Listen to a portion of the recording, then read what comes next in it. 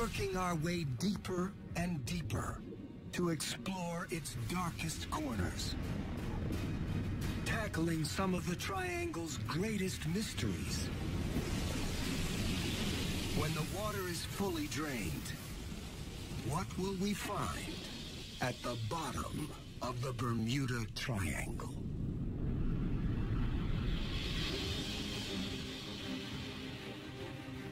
Bermuda, an island oasis 650 miles off the east coast of the United States. For centuries, it's been a refuge for Atlantic shipping. But the island's waters conceal a deadly threat. At the same time as being incredibly attractive, Bermuda also represents a, a, a serious no-go area for mariners without specific Bermuda experience. Bermuda's name comes to strike fear into the hearts of sailors and earns a reputation as the Isle of Devils. The paradox of Bermuda's paradise is that it was literally a, a ship's graveyard for its first two, three hundred years. As custodian of the wrecks, Philippe Rouja tracks and monitors Bermuda's historic shipwrecks. And there are plenty to keep him occupied. In fact, these waters may have claimed up to 300 vessels.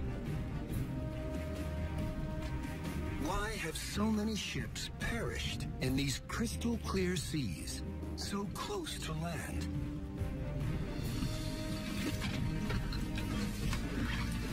Philippe sets out to visit several wrecks that could shed some light on this mystery.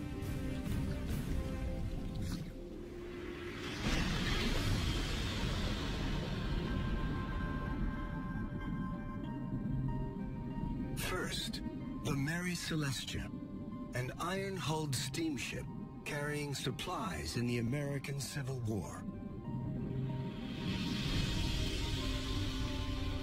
She left Bermuda, she came down South Shore and came to her demise right here, which is a very curious thing because we're literally only 800 meters from shore. And it happened on a flat, calm day. There's a lot of intrigue about it.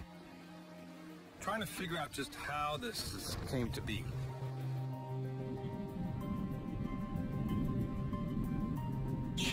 Lies only about 50 feet down. The ship's distinctive paddle wheel is still recognizable.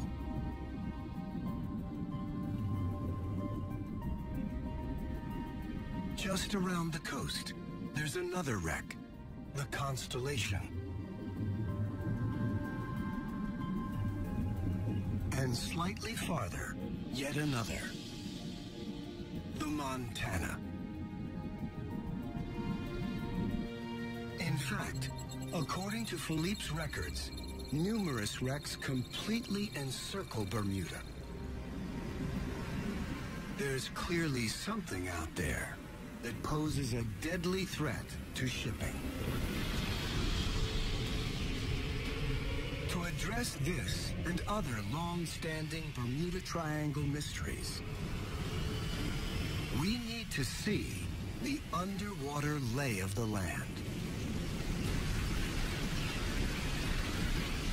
Removing the ocean layer by layer. To gradually reveal an extraordinary landscape.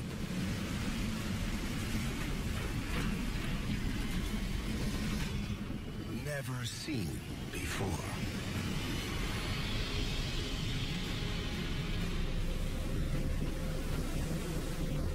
Look into the Bermuda Triangle's depths, we use a fast-evolving technology called sonar mapping. Sonar mapping fires sound waves to the ocean floor.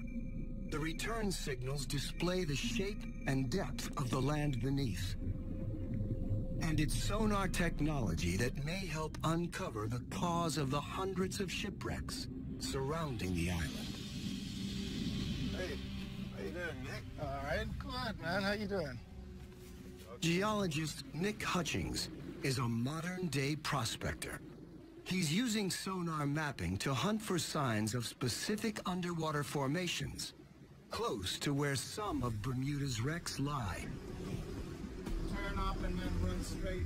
What we're looking for are mineral deposits, and they could be in the form of extinct uh, vents, hydrothermal vents, known as black smokers. Nick believes the now extinct vents could contain rare metals and minerals. We would be looking at gold and copper. And with the crusts, there you're looking at platinum, cobalt, nickel, and particularly the rare earths. And the rare earths are, are important now because uh, they're vital to all of our modern technology. In order to seek out the valuable metals, Nick's using a multi-beam sonar device. The data reveal an extraordinary underwater landscape around Bermuda, including what appears to be a mountain edge. We have a, a big sort of flat plateau. We'll steam out to what we call the edge. You get to the side and then it runs down at a slope of about 60 degrees. And that run down 350 fathoms why are we finding the edge of an underwater mountain just off the coast of Bermuda? To find out, we need to see the bigger picture. The latest sonar data from all around Bermuda allow us to virtually drain this entire area. With the water gone, the tiny island appears to perch on a spectacular mountaintop. A seamount two and a half miles high, all alone, in the middle of the Atlantic Ocean. So how did it get here?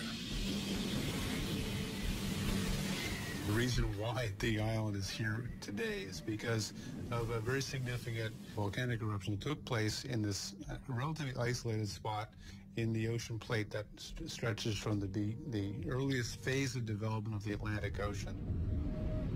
The volcano grew bigger and bigger over millions of years until it finally towered above the ocean's surface. Erupted and completed a huge volcanic island that would have stuck up three or 4,000 feet above current sea level now. After the volcano became extinct 30 million years ago, wind and rain eroded the mountain down to a flat plateau. Then, as sea levels rose after the Ice Age, Bermuda was left as a small island on top of the seamount.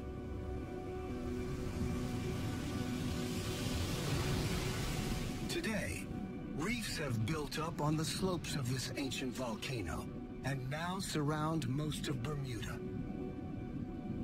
Bermuda's reefs are our natural uh, barrier for protecting us from the fury of the ocean, but it's also been the, the sad fate for many, uh, many mariners. These reefs are potentially deadly to shipping, but it's what is living on the reef that poses an even more treacherous threat. Locally, they're known as boilers or breakers. Breakers are formed by a type of rocky algae and the shells of millions of tiny mollusks. Together, they create an incredibly hard limestone structure, which can grow up to 35 feet from the seabed, with the tops sometimes breaking the surface at low tide. The breakers themselves are actually materially harder than the surrounding reef which is why they've survived and which is why the processes that created them have continued to persist. And so any ship encountering one of these things, wooden, metal, or otherwise, would be in for a very serious impact. Breakers sometimes have sharp points. These can pierce a ship's hull like a can opener, potentially sinking it in minutes. And they can be at their deadliest in calm weather. One of the ironies of breakers is that they're more visible when there's wave action and storms. So in fact, the breakers are sometimes at their most dangerous on a flat, calm day because they can't be seen at all. Breakers have caused many of Bermuda's shipwrecks. The Mary Celestia is one of them. This concealed threat surrounds Bermuda, a deadly legacy of its volcanic past. Draining the island of Bermuda helps to explain the hundreds of wrecks found here.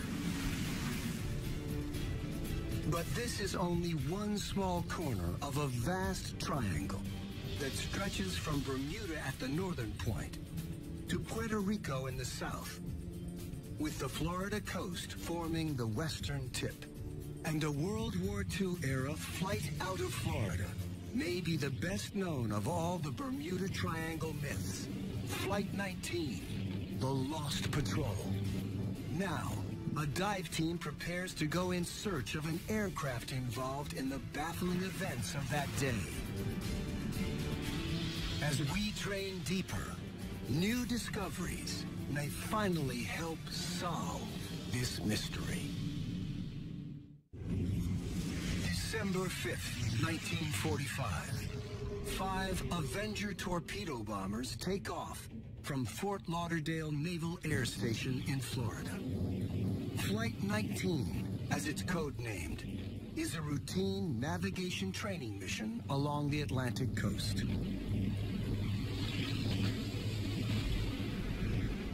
Command is U.S. Navy Lieutenant Charles Taylor, a highly experienced airman.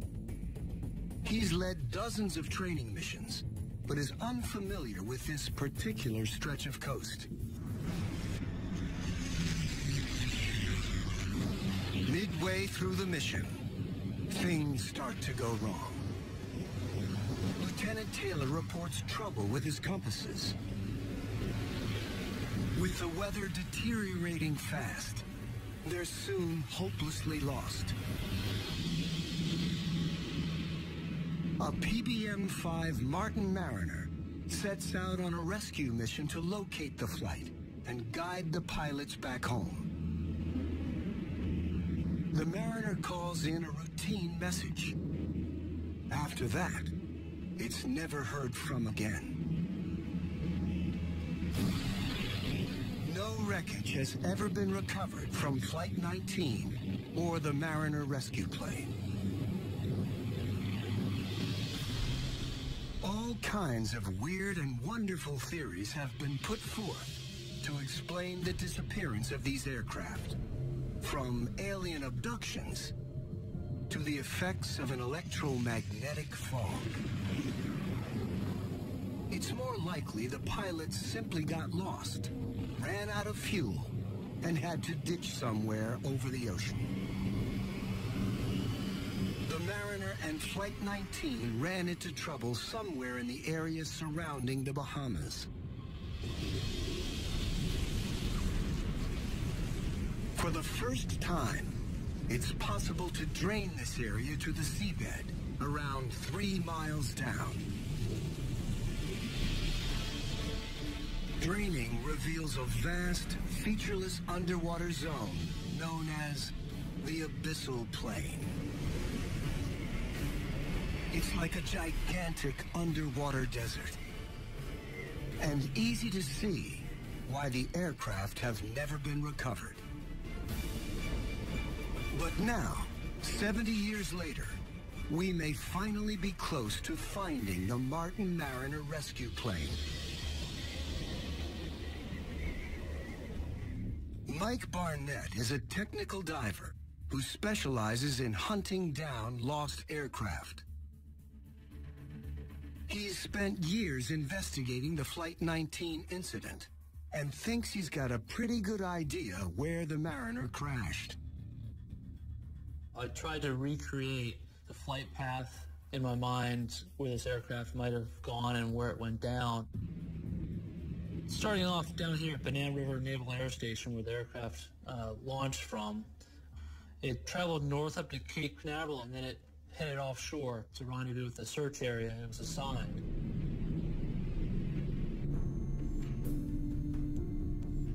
We know about a half hour after taking off, there was an explosion site. There's a freighter out there that recorded seeing an explosion midair. When the vessel got on site, they didn't find any debris.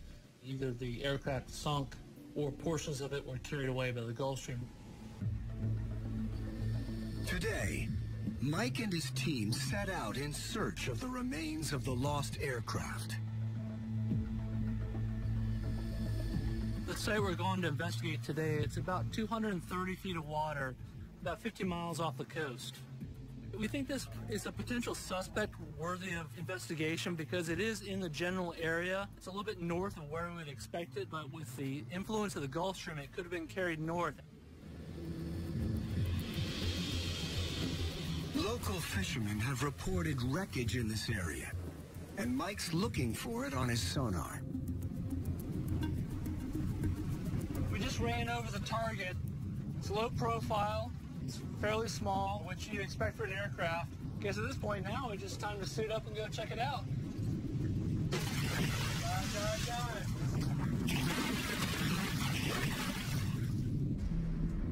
The target's more than 220 feet down. Mike thinks it could be a plane, but he can't yet tell whether it's the Mariner. Visibility at this depth is limited, and a strong current makes the search really challenging. We know we're close. There's a lot of fish. There's shipwrecks. They attract fish, so we know we're in the vicinity. Then, out of the gloom, the divers spot something. That's the nose wheel of the aircraft. And just a stone's throw away, the rusted fuselage of a large aircraft. It is an aircraft wreck site. This is quite interesting. They have a lot of intact structure there. Typically, over time, these aircraft are just bits and pieces on the seabed. So to see something like this is quite spectacular. Could this be the wreckage of the Mariner rescue plane? The next step is to record any evidence that might identify the aircraft.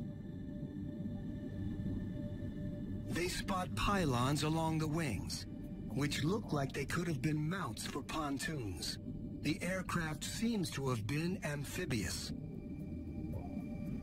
Portholes on the side of the fuselage are what you expect to find on a Mariner. And the shape of the horizontal stabilizer looks familiar to the divers from photographs of the airplane. Suggests this could be the amphibious Mariner rescue plane, but the team hasn't found a definitive piece of evidence. It's definitely a plane. I want to be very careful what I say, but there are some very interesting features. There's a lot of things you expect for a search and rescue aircraft to have. And I want to get back and look at some pictures and video to some observations. I'm excited, very excited. Something that warrants further scrutiny. Mike needs an expert opinion to identify the plane. So he shows the dive footage to an aviation historian, Roy Stafford. Roy's a former U.S. Navy pilot and an authority on American military aircraft. This is the very start of the dive. We've, we've made our way to the bottom and we're heading up current to find the wreck. And as you can see, we're starting to see some debris come into view here. We originally were diving this with the, the hopes of finding the PBM-5 Martin Mariner, but as we're cruising around the site looking at uh, some of the features, we're, we're seeing things that are inconsistent with that. And so we're kind of left with the question, what aircraft is this? Well, judging by the uh, brake system and the uh, tire that was on there, it would be uh, post-World War II aircraft. I could tell that right off the bat. That looks like it's obviously part of the uh, the cockpit, uh, the top of it, the, the windows. Roy is 100% certain this wreck's not the Mariner they've been looking for. But if the wreckage isn't the missing search and rescue plane, then what is it? The answer could help resolve another triangle mystery. It's significant down here, the porthole that you see there may be a porthole for a camera. Exactly. We, actually see several of them inside that were very prominent that really caught our attention. Mm-hmm. You can see there's uh, twin engine. That pretty much ices it. There's only two possibilities, two pylons, one on each side would be an, either an RB-66, which usually wouldn't have a reason to be in that area, or the Navy A-3. It doesn't take Roy long to conclusively identify the type of plane. It's beyond a doubt an A3 Skywarrior by you know, comparing the fuselage and the pylons underneath the wings, the sweep back on the horizontal tail, the fact that the landing gear retract into the fuselage. These are all absolute indices of, of it being an A3 Skywarrior. The A-3 Sky Warrior was the largest carrier-launched aircraft in the U.S. Navy in its day. And Navy files show that in 1960, one crashed while attempting a carrier landing in this area. It's highly likely that this is the wrecked A-3 that Mike and his team have tracked down. But Flight 19 and the Mariner rescue plane remain lost. The search continues to find this aircraft. We know it's out there. It's just a matter of finding the exact place. If we were to drain the vast abyssal plain around the Bahamas, somewhere out there we'd almost certainly find the Lost Patrol. And based on the condition of other wrecked planes found on the sea floor, this is how we'd expect them to look.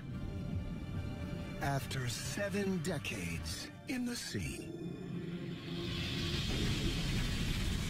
As we drain even more water from the Bermuda Triangle and head deeper, we'll encounter other bizarre phenomena.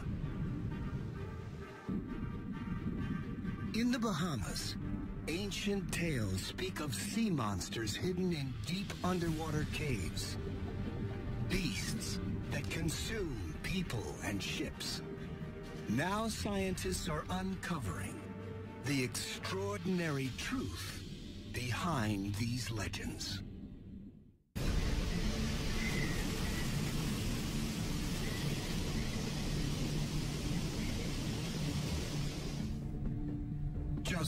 50 miles off the coast of Florida, at the Bermuda Triangle's western point, lie the Bahamas. An archipelago of more than 700 islands. Here we encounter one of the Triangle's most mysterious natural forces. Whirlpools that, according to local legends, can suck down people and ships. With the oceans drained to nearly three miles, a stunning landscape is revealed. The Bahamas sit atop a vast limestone plateau that rears up from the seabed. It's known as the Great Bahama Bank. Cliffs taller than any found on dry land soar nearly 15,000 feet, almost three times higher than the Grand Canyon. Closer to the shoreline, another phenomenon. Some of the strangest geological rock formations found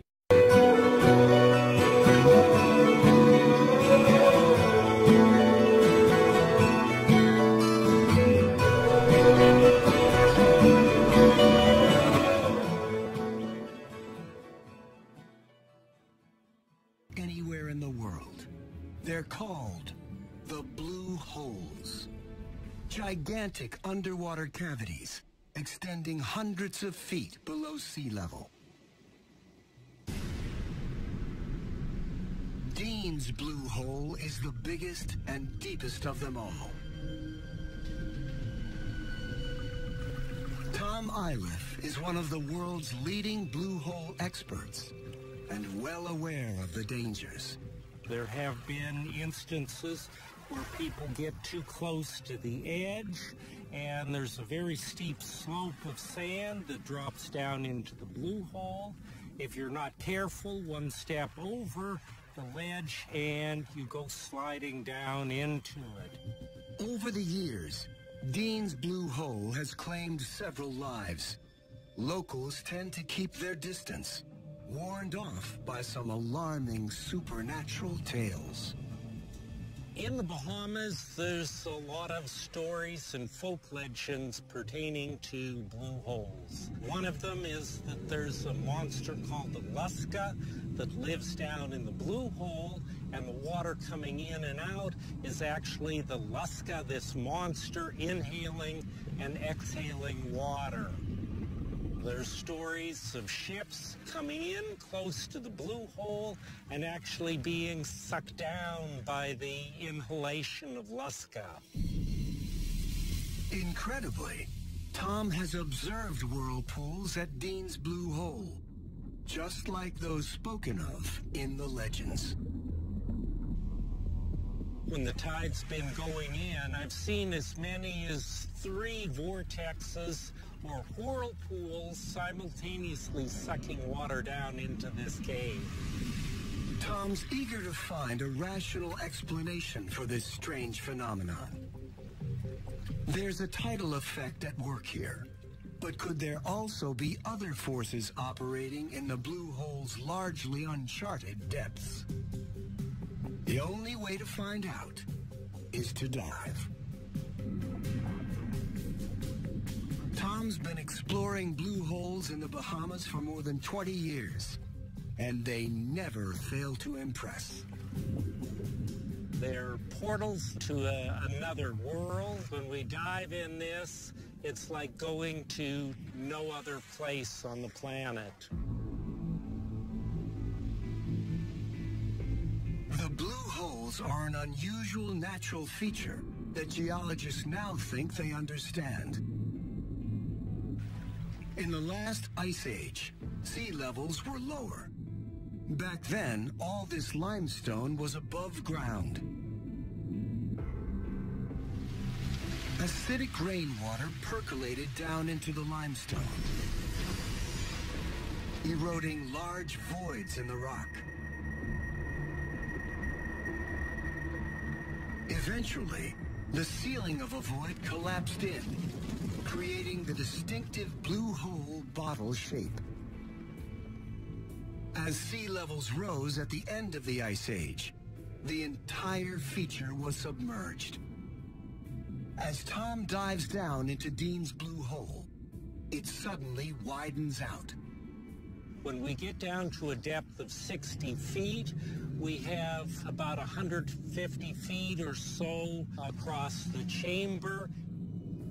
As we go deeper below at a depth of about 80 feet, it breaks again and opens and again doubles in size, probably 300 feet across the system.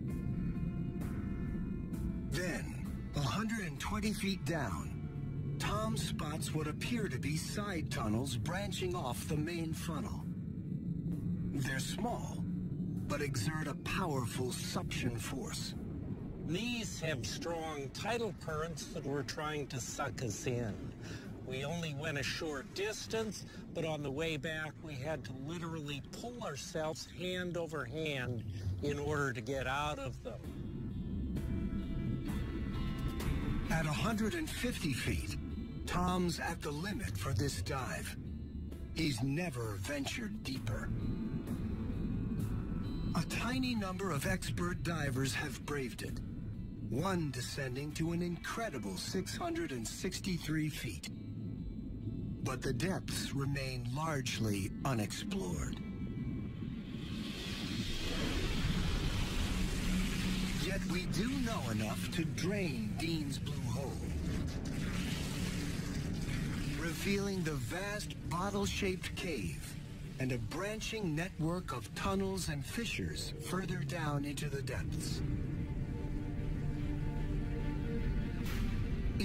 Flow of water in and out of these tunnels that generates the whirlpool effect, not a mythical sea monster. Without water, Dean's Blue Hole is an ominous, yet entirely natural, geological structure.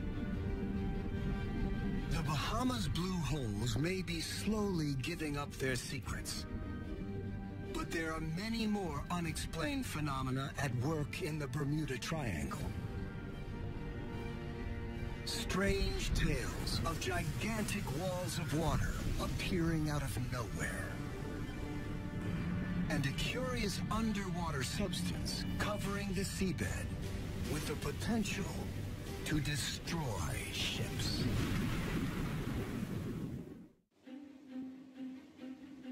March 1918.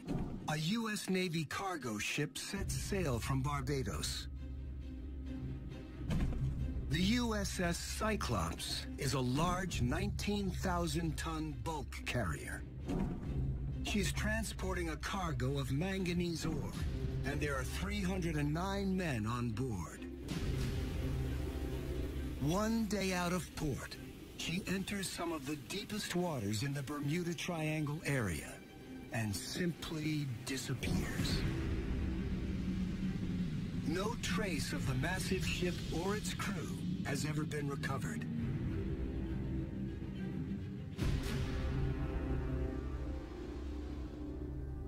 For Marvin Barash, the story's linked with personal tragedy. My great uncle, Lawrence Merkel, was a fireman on board the ship. He was uh, in his early 20s, and uh, he was among the 309 lost. Typically, when ships are lost, something is found. Whether it's part of a uh, lifeboat, whether it's some cargo, some piece of wreckage, something turns up eventually. In her case, nothing. The absence of any scrap of wreckage soon gives rise to some wild theories. All kinds of bizarre stories came out. There was a Washington, D.C. newspaper that claimed that she had been taken over and had been turned into a pirate ship and was running in Amazon waters. Others were saying that she had been taken over by a German submarine, even as far as gigantic sea life like octopus. There were some pictures of such uh, incidents in some newspapers across the country. Marvin has devoted his life to finding out what really happened to the Cyclops. He's scoured every document and record linked to the ship. It's taken decades of painstaking research, but he now believes he's identified a fatal weakness in the ship's design. She was at one time the largest and fastest U.S. Navy ship afloat. She had a flat bottom. She rolled quite easily. And on one day, she rolled approximately 50 degrees one way and in the high 40s the other way. And to many vessels, that could have just continued and caused a complete catastrophe. So given the ship's tendency to roll, did something happen to tip her over? Something extraordinary. For centuries, mariners have spun tales of rogue waves. Enormous walls of water appearing out of nowhere, overwhelming any ship in their path. The idea of rogue waves has been the thing of legend for many, many hundreds of years. Mariners come back reporting having seen these waves, having experienced and survived these rogue waves. According to Dr. Simon Boxall, these old tales can no longer be ignored. By using satellites, we can observe the entire world uh, in a few days. And so we have, over the last 20 years, observed and measured freak waves which are in some cases in excess of 100 feet. So they do exist. Supersized waves have occasionally been captured on film. This one, in the winter of 2012, slammed into an emergency response vessel in the North Sea.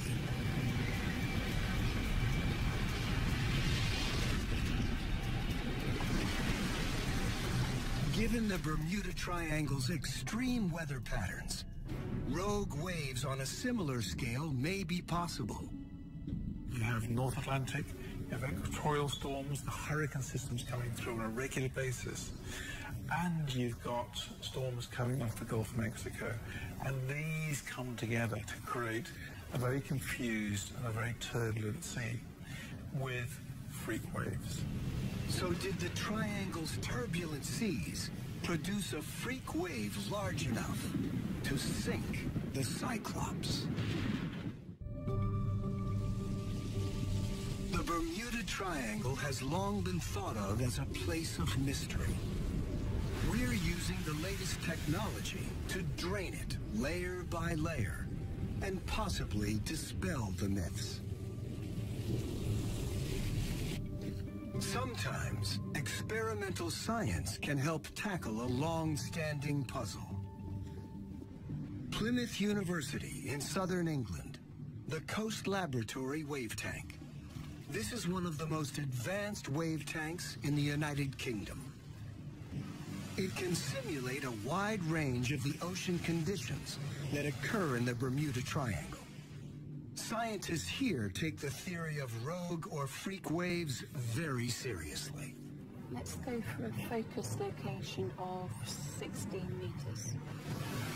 Today, these oceanographers are conducting an experiment to determine whether a rogue wave could have sunk a large vessel like the missing U.S. Navy ship, the Cyclops. The team deploys a scale model comparable in size to the Cyclops.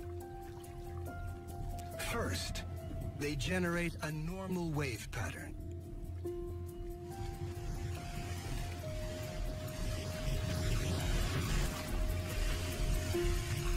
With waves the equivalent of 25 feet high, the vessel remains stable.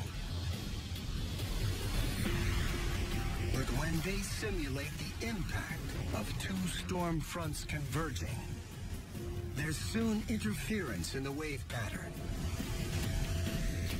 And suddenly, as if out of nowhere, a rogue wave. It's the equivalent of a wave more than 50 feet high, and its impact on the scale model is clear.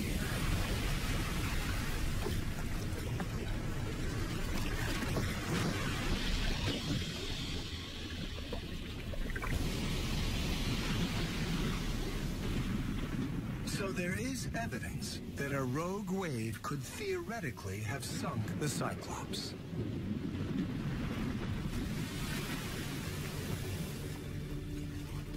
But there's another bizarre phenomenon that could explain the loss of the ship. On the seabed, at depths below 1,100 feet, deposits of a strange, milky, waxy material can be found.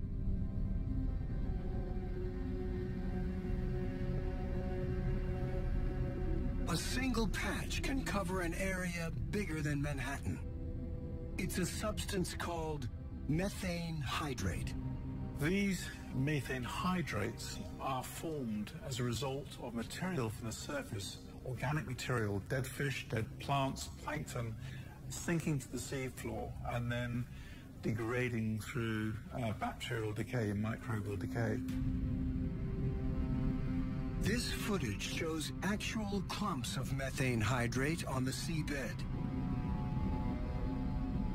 Methane can also get trapped in pockets beneath the ocean floor. 1981, in the South China Sea, a drill ship hit a shallow gas pocket, causing a blowout.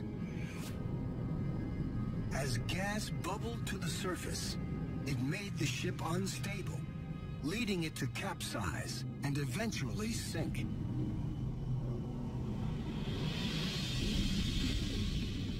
Any large-scale disturbance on the seabed, such as an earthquake or landslide, could dislodge a substantial slab of methane hydrate, which turns to gas as it floats to the surface. A methane hydrate release could potentially have caused the USS Cyclops to capsize, especially given that her design left her prone to rolling. But the only way to determine what really happened to the ship is to find her wreckage. Having studied as much as I could about approximately how far the ship may have made it from her departure point, I think she probably was about a day out of port, and she probably wound up around the northwest area of Puerto Rico.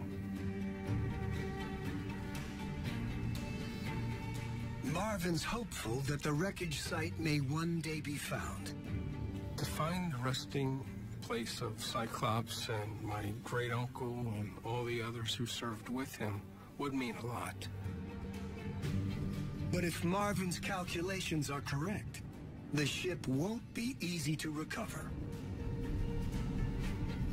Draining the area reveals a trench up to five miles deep.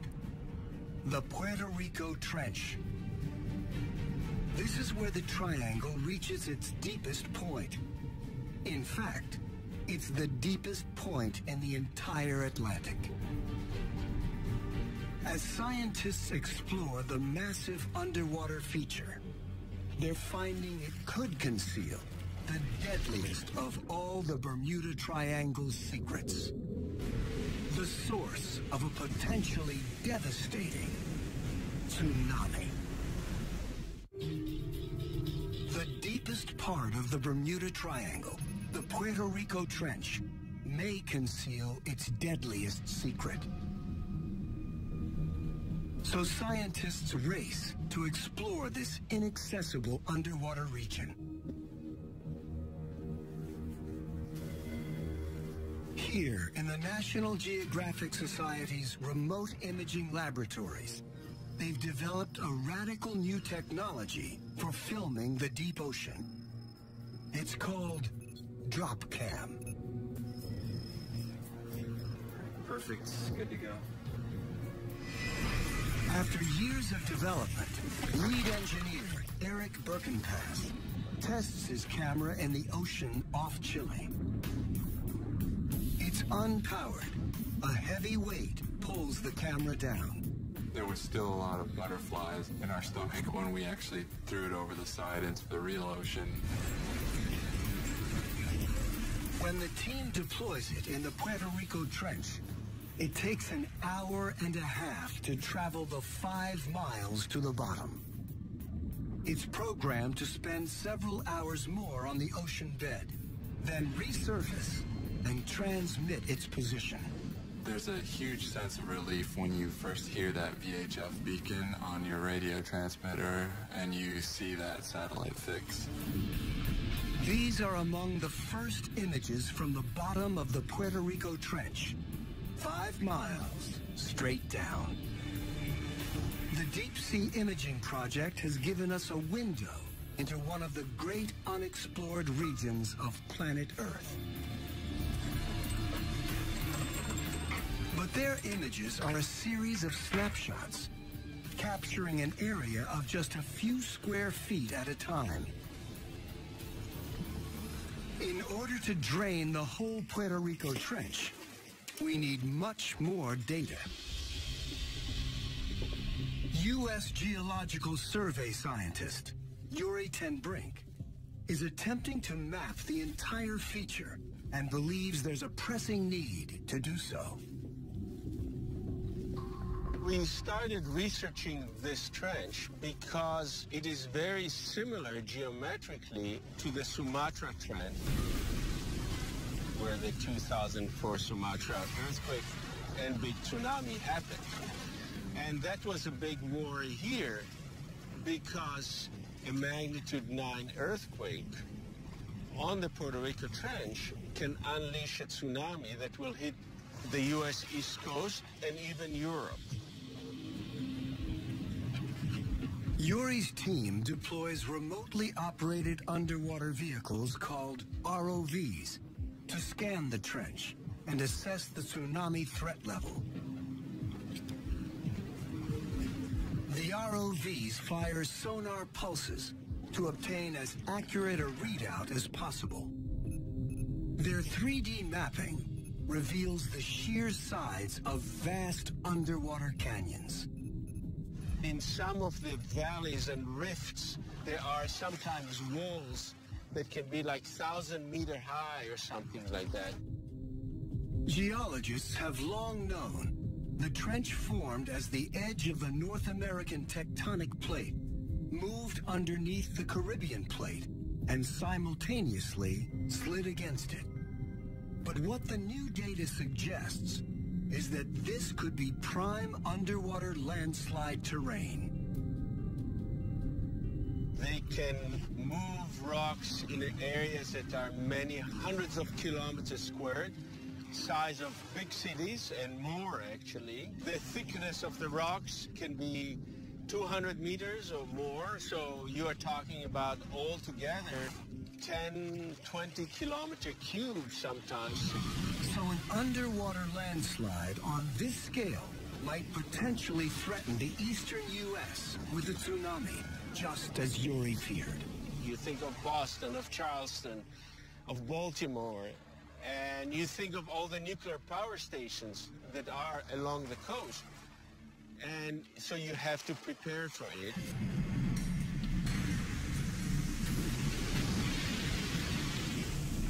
The terrifying impact of a tsunami on an insufficiently protected nuclear power station is now understood.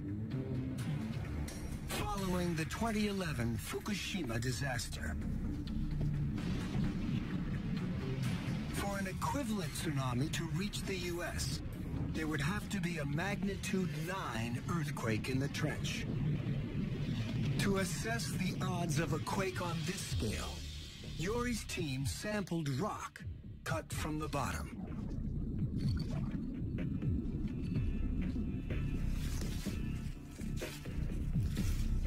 Back in the lab, they were able to reach conclusions about the threat to East Coast residents and those living closer to the trench. From our current understanding, we are not sure that it's capable of such large earthquakes. That not to say that it's not capable of big earthquakes, magnitude 8 to 8.5, that could also happen. They may not hit the, the, the U.S. East Coast, but they will still cause tremendous damage in the Caribbean. It's also possible that an earthquake centered in the trench could trigger a methane hydrate release. A further clue that these may be responsible for some of the area's notorious disappearances. Uri's completed data allow us to drain 500 miles of the Puerto Rico Trench. Given its vast scale and immense depth, it's perhaps no surprise many of the triangle's missing ships and planes remain lost. There are spectacular sheer cliffs several miles high. It's truly an awe-inspiring landscape at the very bottom of the Atlantic Ocean. Five miles down.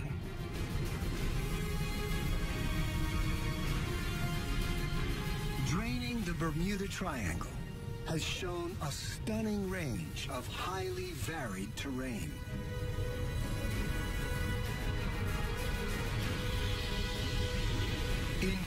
Some of the strangest features known to exist in our oceans. The myths and legends of the Triangle are persistent and deep-rooted. Yet we've discovered that the dangers posed by this area don't appear to come from any supernatural phenomena, but from the very real and very deadly forces of Mother Nature herself.